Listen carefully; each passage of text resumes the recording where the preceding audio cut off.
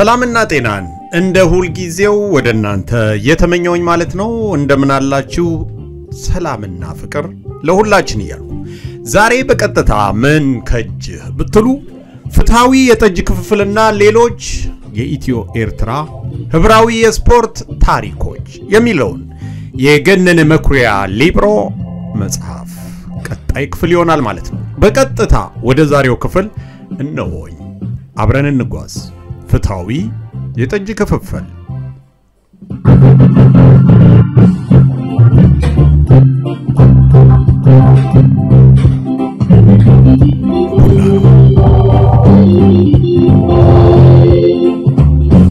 ከሀያ ዓመታት በኋላ በክራንች እየሄደ የነበረው አንድ ሰው ወደ ሆቴል እየገባ የነበረውን እንግዳ ገብረ ማርያም ብሎ ተጣራ። የተጠራው ሰው ግን ስሙ ስላልሆነ ዞር ብሎ አላየውም። አልቢተር ገብረ ማርያም ብሎ እንደገና ተጣራ። አልቢተር ስለተባለ ብቻ እኔን ይሆናል ብሎ ዞር ብሎ ወደ ተጣራው ሰው ተመለከተ። እኔን ነው አለ። አዎ አንተን ነው። እንተዋወቃለን? በሕይወት ስላየውህ ገርሞኝ ነው። እንዴት እንዴት እስካሁን አልሞትክም? እኔ አዎ ምን አደረግኩ? ያኔ ታስታውሳለህ ያደረግከንን? የት? የሐማሴን ቡድንን ያፈረስከው። አሁን ነገሩ ገባው። ያኔ በተገኘበት እንዲገደል ትዕዛዝ ወጥቶበት እንደነበር አስታወሰ። ከዚያን ጊዜ ጀምሮ አስመራ ከተማ እንዳይገባ ተደርጎ ነበር። አሁን ኤርትራ እንደ ሀገር ከቆመች በኋላ በሪፈረንደሙ ወቅት ሀገር ሰላም ነው ብሎ ለመጀመሪያ ጊዜ ለማጫወት ሄደ። እናም ለካ ነገሩ አልተረሳም። ክራንች የያዘው ሰውዬ የሐማሴን ደጋፊ ነበር። በትግሉ ጊዜ ወደ በረሃ ገብቶ ጉዳት ደርሶበት በክራንች ይሄዳል። ጌታቸው እና አሁን አንተ ልትገድለኝ ነው አለው። በትኩሱ ባገኘ አለቅህም ነበር።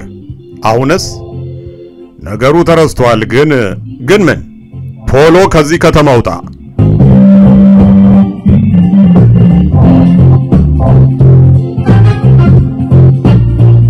ከአርባ አራት ዓመታት በኋላ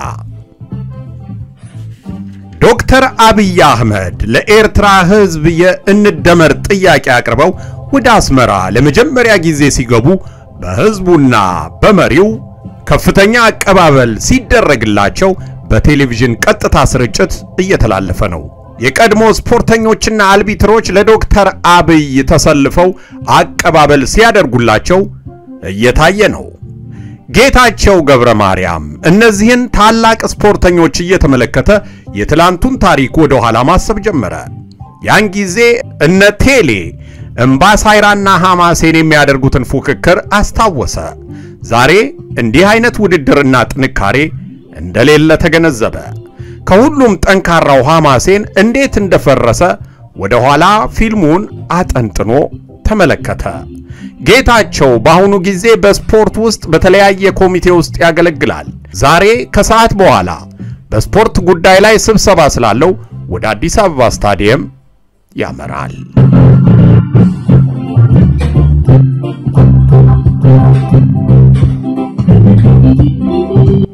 ታጋቾቹ በከተማ መሃል በሚገኘው የኢሰፓአኮ ጽሕፈት ቤት የተጠሩት ሰዎች ለምን እንደተፈለጉ አውቀዋል። ለሚጠየቁት ነገር ሁሉ ትክክለኛውን ነገር መናገር ይኖርባቸዋል። መረጃ መስጠት ደግሞ ግዴታቸው ነው። ቃላቸውን ለመስጠት ሲሄዱ አንድ መሆን እንዳለባቸው አልጠፋቸውም። ለሚቀርብላቸው ጥያቄ ያለምንም ሁኔታ መዋሸት እንደሌለባቸው አልጠፋቸውም። እውነቱን መናገር ምን ሊያስከትል እንደሚችል ይገባቸዋል። መዋሸትን የፈለጉት እነሱ ፈልገው የገቡበት ሁኔታ ባለመሆኑ ነው። ወደ ክፍሉ ውስጥ እንደገቡ የወታደርና የፖለቲካ ሰዎች ቁጭ ብለው እየጠበቋቸው ነው። የሰዎቹን ሁኔታ ሲመለከቱ አንድ ችግር ሊከሰት እንደሚችል ገምተዋል። ጥያቄዎቹ ተጀመሩ። ሰላም ናችሁ አሉ። ሰላም ነን። እንኳን በሰላም ተመለሳችሁ። እንኳን ደህና ጠበቃችሁን። የምንጠይቃችሁን ነገር ሳትደብቁን በትክክል ነው የምትነግሩን? እኛም እውነቱን ለመናገር ነው የመጣነው። ውሸታቸውን ነው። የህወሓት ታጋዮች በየት ነው የሚገቡት? ማለት ወደ ከተሞች ገብተው ሊያጠቁ ነው አይደል? አዎ። በየት ነው ሊገቡ የፈለጉት? በብዝሃ ብዝሃ ትንሽ ከተማ ነች እኮ። በዚያ ነው ወደ ትላልቅ ከተሞች የሚመጡት ለማለት ነው። መንገድ ጀምረዋል? አናውቅም። የሚገቡት በዚህ ብቻ ነው? በአድዋም ይገባሉ። ወታደራዊ ነው የሲቪል ተቋም የሚያጠቁት? ሁሉንም ነው። እርግጡን ንገሩን፣ መቼ ነው የሚገቡት? እኛ አናውቅም። እንዴት አታውቁም? ብናውቅ እኮ እንነግራችሁ ነበር። ብትነግሩን ይሻላል። ዛቻ አለበት። እኛ እኮ ስፖርተኞች ነን፣ ግን አሁን የነሱ ሰላይ ናችሁ። ኧረ እንደዚህ አይደለንም። ስትገረፉ ሁሉንም ነገር ታወጣላችሁ። ስለ መገረፉ ሲሰማ ደነገጡ። የተናገሩት ውሸት ነው። እውነቱን ቢናገሩ የሚያምናቸው የለም። ሰዎቹ ሁኔታውን ተመለከቱትና በቃ ጨርሰናል፣ ወደ ቤታችሁ ሂዱ አሉ። ነገር ግን በነጋታው ሁሉንም ሰብስበው አመጧቸው። ሰባቱም ሰዎች ቃላቸው አንድ ቢሆንም የሰጡት መረጃም በቂ ስላልሆነ ሁሉንም ነገር ዘክዝከው እስኪያወጡ ድረስ እስር ቤት እንዲገቡ ተደረገ። መግባትና መታሰር ብቻ በቂ አይደለም። ከባድ ግርፊያ እንደሚጠብቃቸው አውቀዋል። ምንም በማያውቁት ሁኔታ በሁለት ወገን እየተሰበሰቡ ነው። እውነቱን መናገር ደግሞ ፈጽሞ የማይሞከር ነው። ከዚያኛው ወገን የሚደርስባቸው ቅጣት ደግሞ ከባድ እንደሚሆን ያውቃሉ። እነዚህ ስፖርተኞች ከመንግስትም ሆነ ከታጋዮች ወገን አልነበሩም። ስፖርትን ብቻ ተገን አድርገው የሚኖሩ እንጂ። ግን በሰላይነት ተጠርጥረው እስር ቤት እንዲገቡ ተደረገ። ነገሩ ሲጀመር እንዲህ ነበር። የኢትዮጵያ ትምህርት ቤቶች የስፖርት ውድድር ተቋርጦ ከቆየ በኋላ ለመጀመሪያ ጊዜ በ1972 እንዲደረግ ተወሰነ። ከየዞኑ ማጣሪያውን አልፈው የሚመጡ ቡድኖች አዲስ አበባ ላይ የመጨረሻውን ውድድር ያደርጋሉ። የአዲስ አበባውን ውድድር በደማቅ ሁኔታ ለማካሄድ ሽር ጉዱ ከተጀመረ ቆይተዋል። የአገሪቱ መሪ ሳይቀሩ የሚታደሙበት በመሆኑ ከፍተኛ ትኩረት ተደርጎበት እየተሰራ ነው። ቀይ ሽብር ነጭ ሽብር ተብሎ የብዙ ወጣቶች ደም የፈሰሰበት ጊዜ በመሆኑ ከዚያ መለስ ወጣቱን አረጋግቶ ለመያዝ ወደ ስፖርት የተሸጋገሩበት ጊዜ ነበር። ስለሆነም ለትምህርት ቤቶች ውድድር ትልቅ ግምት ተሰጥቷል። በተለይ ሰሜን አካባቢ ያሉትን ወጣቶች በዚሁ ስፖርት በመያዝ ጥሩ ጅማሬ ታይቷል። የትግራይና የኤርትራ ክፍለ ሀገር ቡድኖች በዚህ ውድድር ላይ ልዩ ትኩረት ተሰጥቷቸው እየተጠበቁ ነው። የኤርትራ የተማሪዎች ልዑካን ቡድን አዲስ አበባ ቀድሞ ገብቷል። ዛሬና ነገ ደግሞ የትግራይ ተማሪዎችና መምህራን ቡድን ይገባል። የትግራይ የስፖርት ቡድን ኃላፊዎች አዲስ አበባ ገብተው ለ135 ስፖርተኞች ማረፊያ ሆቴሎች አዘጋጅተው እየጠበቁ ነው። የተማሪዎቹ ቡድን ሲደርስ አቀባበል ይደረግለታል። ለኤርትራ ደማቅ አቀባበል ተደረገ። ለትግራይም ቡድን ተቀባዮቹ ሳይቀር ተዘጋጅተው ስፖርተኞቹ በጉጉት እየተጠበቁ ነው። እዚህ ውድድር ላይ ለመሳተፍ ማጣሪያዎቹ ተደርገዋል። የአንደኛና ሁለተኛ ደረጃ ትምህርት ቤቶች ናቸው ማጣሪያውን የሚያደርጉት። ትግራይም በሁለተኛ ደረጃ እግር ኳስ ቡድን ጥሩ አቋም ላይ ቢሆንም የወሎ ምርጥን ማሸነፍ ባለመቻሉ ወደቀ። ይሄኛው ቡድን በመውደቁ አዲስ አበባ መሄድ አልቻለም። ገብረመድህን ኃይሌ በዚህ ውድድር ላይ ለመሳተፍ በጥሩ ሁኔታ ቢዘጋጅም ማጣሪያውን ባለማለፋቸው አዲስ አበባ መሄድ አልቻለም። አዲስ አበባን አያውቃትም።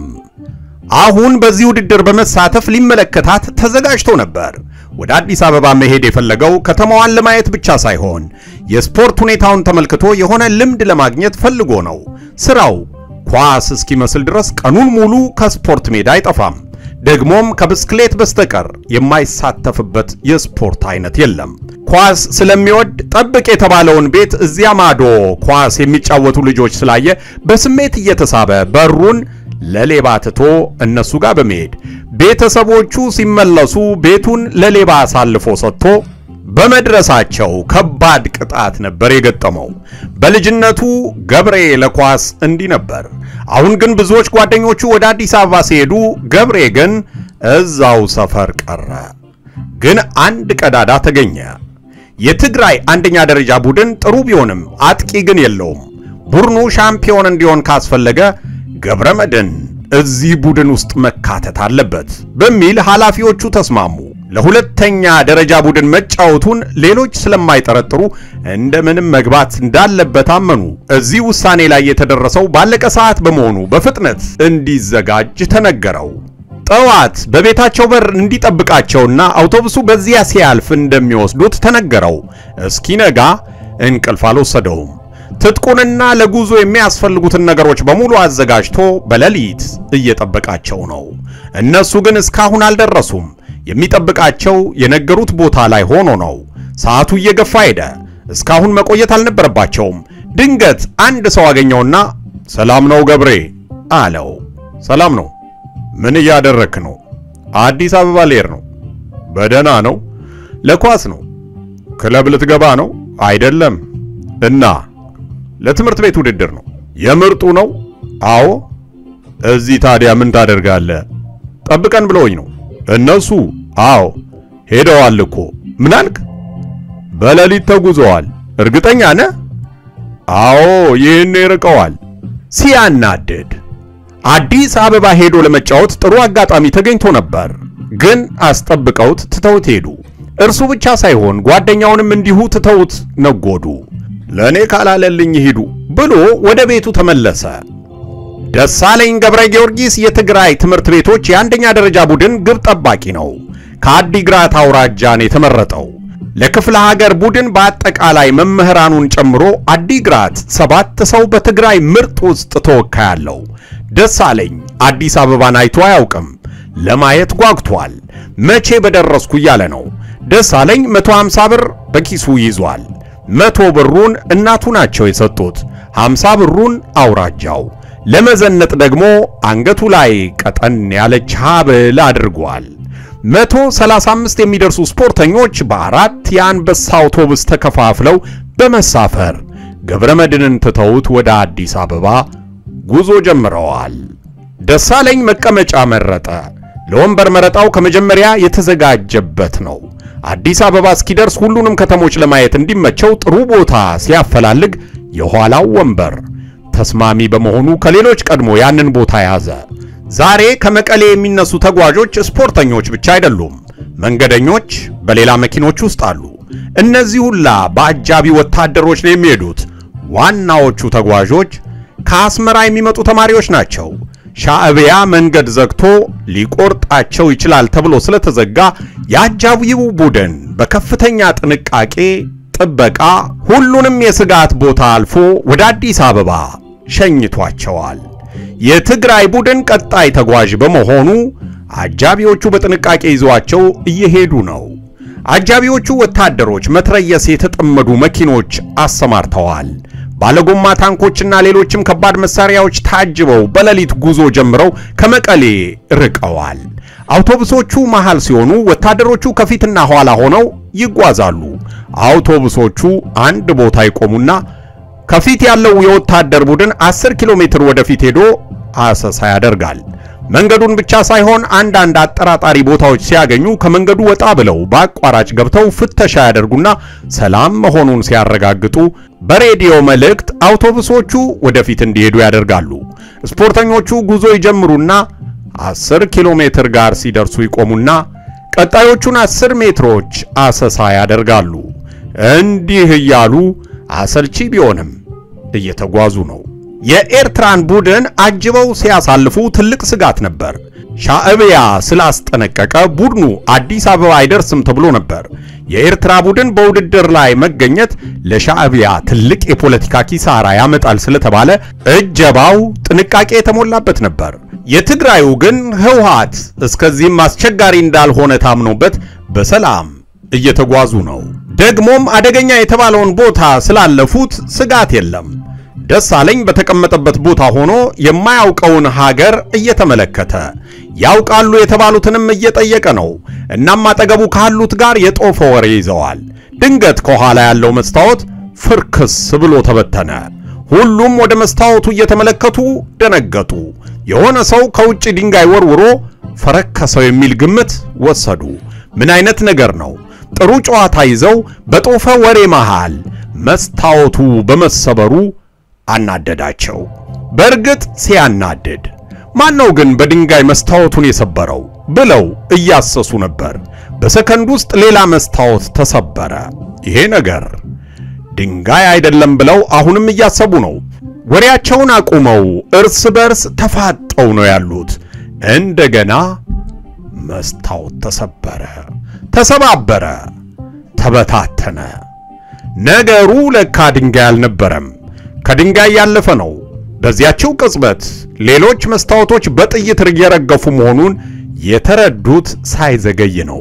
ጥይቱ መስታወቱን ብቻ ሳይሆን ቆርቆሮውን እየበሳሳ ወደ ውስጥ እየዘለቀ ነው። ተማሪዎቹ የጥይቱን ያለማቋረጥ አይተው ግራ ተጋቡ። የሚይዙትና የሚጨብጡት አጡ። በአውቶቡሱ ውስጥ እሪታና እውታ ነገሰ። ማንም የሚደርስላቸው አልነበረም። ጥይቱ መብረጃ የለውም። አሁን ተደጋግሞ እየተተኮሰ ነው። ወታደሮቹ ስላልመጡላቸው ሁሉም ራሱን ለማትረፍ መሯሯጥ ጀመረ። ጥይቶቹ አሁንም በብዛት ወደ አውቶቡሱ እየዘለቁ ነው። አረጋይ ከጀርባ ተመታ። በኋላ ለጊዮርጊስ ክለብ ተሰላፊ ነበር። እዚህ መኪና ውስጥ መቆየት ሞትን መጥራት ነው። ስለዚህ ሁሉም እየዘለለ ወረደ። ሞት ካለበት መኪና ቢወርዱም መሬት ላይ መደበቂያ አላገኙም። የጥይቱ ሩምታ ከመኪና ውስጥ መሬት ላይ ቀጠለ። ማን ነው የሚተኩስባቸው? ወታደሮቹ የት ሄዱ? አሁን እንዲህ አይነት ጥያቄ መልስ የለውም። ያለው ድል ራስን ለማትረፍ መሯሯጥ ነው። ከመኪናው ውስጥ የወጡት ሰዎች መሬት ላይ ቢሯሯጡም መደበቂያ አላገኙም። በቅርብ ያለው ለጥ ያለ ሜዳ ነው። ወደ እርሻው ገብተው እንዳይደበቁ የሚተኮሰው ከዚያ አካባቢ ነው። ስፍራው በሙሉ ቀውጢ ሆነ። ደሳለኝ መደበቂያ ቦታ ቢያፈላልግም አልተሳካለትም። ከለላ የሚሆን ቦታ ለማግኘት እየሮጠ አማተረ፣ አላገኘም። በሩጫ ላይ ሆኖ በጣም ተጨነቀ። አውቶቡሱን ከለላ እንዳያደርግ ተኩሱ የበዛው እዚያ ቦታ ላይ ነው። ሞት አፍጥጦ እየመጣ ነው። ድንገት ትንሽ ጎርጎድ ያለ ቦታ ተገኘች፣ ግን እሱም በሌላ ሰው ተያዘ። መሐሪ ነው ቦታውን የተቆጣጠረው። ደሳለኝ ከእርሱ ኋላ ሄዶ ተለጠፈ። መሐሪ የወታደር ጫማን ያደረገው ለመደበቂያ ያለው ብቸኛ ነገር ጫማው ነው። ደሳለኝ የልጁ እግር ያለበትን የወታደር ጫማ ብድግ አድርጎ ራሱ ላይ ጫነው። ጥይት ቢመጣ ቢያንስ ማብረጃ ይሆናል። ባይሆንም ከምንም ነገር ይሻላል። መሐሪ በተኩሱ መሃል ሲንፈራገጥ የደሳለኝን ከለላ እያፈረሰ ስላስቸገረ እንዳይነቃነቅ አናቱ ላይ የወታደር ጫማ ያለበትን እግር ጥፍር አድርጎ ያዘው። እንደዛም ቢሆን አስተማማኝ አልሆንለትም። ባጠገቡ ግራና ቀኝ እየጮኸ የሚበር ጥይት በሰከንድ ልዩነት መጥቶ እንደሚያሰናብተው አልጠፋውም። አጠገቡ አንድ ሰው መሬት ላይ መጥቶ ለጥ አለ። ለሽፋን ጥሩ ቢሆንም ቦታው አሁንም ዋስትና የለውም። ደሳለኝ ጥይት እንዳይመታው እየተፍጨረጨረ ነው። ድንገት ፊቱ ሲረጥብ ተሰማው። የሆነ ነገር ተረጭቶበታል። እርጥበቱ ፊቱ ላይ ብቻ ሳይሆን እጁም ላይ ነበር። ነገርየውን አየው። ደም ነው። ልብሱም ደም በደም ሆኗል። ወይኔ በጥይት ተመታው ብሎ ጮኸ። የተመታበትን ጥይት በየትኛው የሰውነቱ ክፍል እንደገባ መፈለግ ጀመረ። የተበሳበትን ቦታ ለጊዜው ማግኘት አልቻለም። ድንገት ዞር ሲል አጠገቡ መጥቶ የተኛውን ልጅ ተመለከተው። አንገቱን በጥይት ተመቷል። የሱ ደም ነው የተረጨበት። ልጁን ተመለከተው። አንተ አለው። አቤት። በጥይት ተመታል እኮ። እኔ? አዎ። ምኔ ላይ? አንገትን። ልጁ አንገቱን መፈተሽ ጀመረ። በጥይት የተመታበትን ቦታ ዳበሰ። ደሙ እየፈሰሰ ነው። ልጁ ስለደነገጠ ለመነሳት ሞከረ። ደሳለኝ ተኛ አለው። ምን አልክ? እንዳትነሳ። ተመትቻለሁ እኮ። አዎ ደምህ እየፈሰሰ ነው። ሞቻለሁ። አልሞትክም፣ ገና ነህ። ልሞት ነው እንዴ? አትሞትም፣ አይዞ። ደሳለኝ የሆነ ጨርቅ ነገር ፈለገና አንገቱን አሰረለት። እዚያ ጋር ሌላ ሰው ወድቋል። ቲቶ ነው። ቲቶ የቅርጫት ኳስ ተጫዋች ነው። ጥይት በሳስቶት ለጥ ብሏል። ለጥ ብቻ ሳይሆን ጸጥ ብሏል። ወዲያውኑ ነው ሕይወቱ ያለፈው። ወይኔ ጉዴ! ምን አይነት ነገር ውስጥ ነው የገባነው? እያለ አማራጭ ማምለጫ መፈለግ ጀመረ። ሰው በቅርብ ሲሞት አይቶ አያውቅም፣ ግን ሬሳ በተደጋጋሚ አይቷል። ደሳለኝ የተወለደው አስመራ ውስጥ ዕዳጋ አርቢ አካባቢ ነው። የነሱ ቤት ካለበት በቅርብ ስፍራ የመቃብር ቦታ አለ። እዚያ መቃብር ፊት ለፊት ባለው ሜዳ ኳስ ይጫወታል። ከተማ ውስጥ በፖለቲካ የተገደሉ ሰዎች በካሚዮን መኪና ተጭነው እየመጡ በአንድ ጉድጓድ እየተራገፉ ሲቀበሩ በተደጋጋሚ አይቷል። አስመራ ውስጥ ግድያ በዛ። ወደ እነሱም ሰፈር ተዛመተ። እናም ዘመዶቹ ወዳሉበት ወደ አዲግራት የመጣው ሞትን ለማምለጥ ነበር። ዛሬ ግን ሞትና እርሱ እነሆ ፊት ለፊት ተፋጠዋል። ደሳለኝን ጨምሮ እዚህ ጋር የተኙት ልጆች ሌላ ቦታ ካልሄዱ በስተቀር እጣቸው ሞት ነው። ጥይቱ አሁንም እየተርከፈከፈ ነው። ወታደሮቹና ታጋዮቹ የሚያደርጉት የተኩስ ምልልስ አካባቢውን ደንበኛ የጦርነት ቀጠና ሆኖ ስፖርተኞቹን ቀለበት ውስጥ አስገባቸው። ቅድም እዛ አካባቢ የሞተው ልጅ ማምለጥ ስላልቻለ ነው። እናም ከዚህ ቦታ ለመራቅ ዙሪያውን ማማተር ጀመረ። በቅርብ አንድ ድልድይ አየ። ቅድም ይሄን ቦታ ለምን እንዳልተመለከተው ግራ ገባው። አሁን በፍጥነት ተነስቶ ወደዚያ ቦታ መሄድ አለበት። ያለው አማራጭ ሲሮጥ መመታት ወይም እዚህ ሆኖ መሞት ነው። እዚህ ያለው ተኩስ እየበዛና እየጨመረ በመምጣቱ ድንገት ውሳኔ ላይ ደርሶ እግሩ ላይ የተጫነውን የወታደር ጫማ ገፍትሮ ተስፈንጥሮ በመነሳት አጎንብሶ መሮጥ ጀመረ።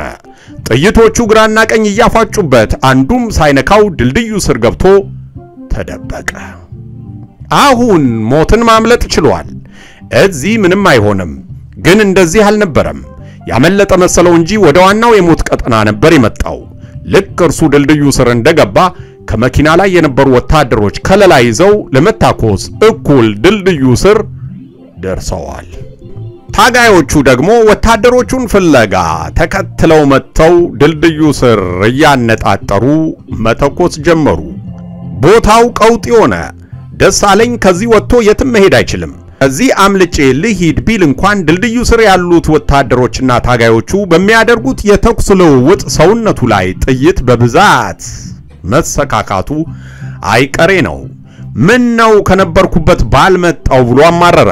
አሁን እንዲህ ራስን መውቀስ አስፈላጊ አልነበረም። አንዴ ሆኗል። የመረጠውን መቀበል ነው። እዚህ ድልድይ ስር ጥይት እንደሚመታው አውቋል። ቢመታም እንኳ ባልሞት ጥሩ ነው ብሎ አሰበ። ድንገት ወታደሮቹ እየተታኮሱ ወጡ። ግን አንድ ወታደር ብቻ ከድልድዩ ስር ቀርቷል። እርሱ ቶሎ እንዲወጣለት ተመኘ። ከወጣለት ተኩሱ ወደ ሌላ አቅጣጫ እንደሚዛወር ገምቷል። አሁን ታጋዮቹ ድልድዩ ጋር በአንድ ወገን ተጠጉ። ከላይም ሌሎች እንዳሉ ከእግራቸው ኮቴ መረዳት ችሏል። አሁን ከባድ ነገር ሊፈጠር ነው። ወታደሩ እየተኮሰ ቦታውን ገትሮ ይዟል። ደሳለኝ አስተኳሽ ይመስል ከስር ተደብቆ ይጮሃል። ነፍስ ውጪ ነፍስ ግቢ ሆኗል። ታጋዮቹ ቦታውን ተቆጣጥረው የቀረችው ይህች ድልድይ ብቻ ናት። ወታደሩ እጅ ካልሰጠ ቦታውን በቦምብ ሊበታትኑት እየተነጋገሩ ነው። ወይኔ ደሳለኝ አለቀለት። ቦምቡ ከተወረወረ ብጥስጥሱ እንደሚወጣ አውቋል። ከነበርኩበት ምን ነው ባልወጣው ብሎ እንደገና ተጸጸተ።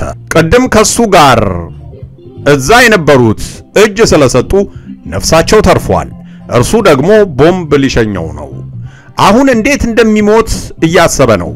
አዲስ አበባን ሳያይ ሊሞት ነው። ወንድሙን ሳይመለከት ቦምብ ሊበጣጥሰው ነው። አሁን በሰከንድ ውስጥ የቅድሙን ቅርጫት ኳስ ተጫዋች ይቀላቀላል። ተበጣጥሶ ሲሞት ሬሳው እንኳን አይገኝም፣ በክብርም አይቀበርም። በጎን ያሉት ታጋዮች ድንገት ብቅ እንዳሉ ከላይ አንደኛው ከተፋለና ወታደሩን ተቆጣጠረው። በቦታው ላይ የነበረው ተኩስ ጠፍቶ ድንገት አካባቢው ጸጥ ረጭ አለ። ደሳለኝ እየተደናበረ ከድልድዩ ስር ወጥቶ ተርፌያለሁ አለ። አሁን ስለ ሞት ሲያስብ እንደገና ወደ መኖር መመለሱ ደስ አለው። ግን ምንድን የተፈጠረው ብሎ ለማሰብ አልቻለም። ከጥቂት ሰዓታት በፊት ያ ሁሉ ተኩስ ሲዘንብ ምን ያህል ሰው እንደሞተ ለማጣራት ከድልድዩ ስር ወጥቶ አካባቢውን መቃኘት ጀመረ። መቀሌ ከተማ ውስጥ ሁሉም ነገር የተረጋጋ ነው። ወደ አዲስ አበባ የሄዱት ስፖርተኞች መድረሳቸውን ስልክ ደውለው ያረጋግጣሉ። በእርግጥ ዛሬ አይገቡም፣ ሌላ ከተማ ያድራሉ። እዚህ ደርሰናል፣ እራትም በልተናል የሚለውን መልእክት ማስተላለፍ ይጠበቅባቸዋል። አዲስ አበባ ከቡድን ጋር ለመሄድ ተዘጋጅቶ የነበረው ገብረ መድን ስላመለጠው ተቆጭቷል። ምንድን ነበር ስተቱ? እርሱ በሌሎች ስፖርተኞች ወዳረፉበት መሄድ ነበረበት። ስህተቱ እዚህ ጠብቅ ባላሉት ቦታ መገኘቱ ነው። ስላመለጡት ተናዶ ሰፈሩ ነው የዋለው። አንድ ሰው አገኘው። ደህና ነህ ገብሬ አለው። ሰላም ነኝ ሰማ እንዴ? ምኑን? ስፖርተኞቹ አዲስ አበባ ሄደዋል። መሄዳቸውን ሰምቻለሁ። እና ተያዙ እኮ ቀስ ብሎ ታጋዮቹ ጠለፏቸው። እነማንን? ስፖርተኞቹን። እውነትን ነው? አዎ። ግን ግን ምን? ብዙ አደጋ ደርሷል አሉ። ይህንን ያህል ሰው ሳይሞት አልቀረም። ገብሬ የሰማውን ማመን አቃተው። ነገር ሁሉ ለበጎ ነው የሚለውን አስታወሰ። ሁሉም የተማረኩት ሰዎች የታጋዮቹ አዛዥ ስብሰባ ትልቅ ዛፍ ስር አስቀመጣቸው። ከዚህ በኋላ ምን ሊፈጠር እንደሚችል የገመተ ይመስላል። ተኩሱ እንደጀመረ አጃቢ ወታደሮቹ የሬዲዮ መልእክት በማስተላለፋቸው ወዲያውኑ ጀቶች መጥተው አካባቢውን ደበደቡት። አስፓልት ላይ የነበሩት መኪኖች በድብደባ ተቃጠሉ። ሰሊጥ ጭነው የነበሩ ትላልቅ ኮሚዮኖች እንዳልነበረ ሆኑ። መኪኖች በድብደባው ቢደረማመሱም ሰዎች ግን አልተገኙም። ዛፍ ስለነበር ጀቶቹ አላገኟቸውም። ከአውሮፕላን ድብደባው በኋላ የተማረኩት በሙሉ ጉዞ ጀመሩ። ቀን እየተኙ ሌሊት እየተጓዙ ነው። በሦስት ቀን ተዳከሙ። የት ነው የምትወስዱን? አሉ። ዝም ብላችሁ ሂዱ፣ ዝም ብላችሁ ሂዱ። እየሄድንማ ነው። እኛ ቦታው ላይ ስንደርስ እነግራችኋለን። ሦስት ቀን ሄድን እኮ። ደርሳችኋል። ስንት ኪሎ ሜትር ቀረን? በኪሎ ሜትር የሚወሰን አይደለም። እና በቃ ዝም ብላችሁ ሂዱ። ደከመን እኮ። ስፖርተኞች አይደላችሁ እንዴ? እንዴት ይደክማችኋል? ከዚህ በኋላ ከአንድ ቀን በላይ መሄድ አንችልም። ያን ያህል እንኳን አይሆንም፣ ደርሰናል። ግን አልደረሱም። ገና አስራ ሁለት ቀን መሄድ ይኖርባቸዋል። ምርኮኞቹ ምንም ቢሉ ምን የተነገራቸውን ከማድረግ ውጪ አማራጭ አልነበራቸውም። የሚሄዱት በሰልፍ ነው።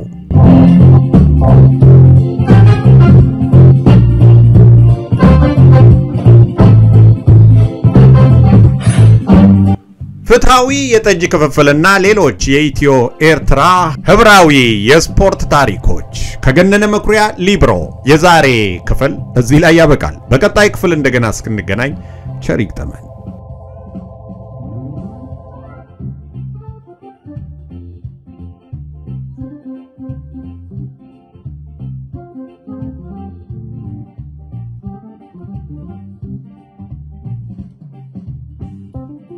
ኢዮብ ዮናስ ብለው ዩቲዩብ ላይ ገብተው playlist ውስጥ ከገቡ እነዚህን መጽሐፍት ትረካ ያገኛሉ። ኩዳድ፣ ጉንጉን፣ እመጓ፣ ዝጎራ፣ መርበብት፣ ራምቦ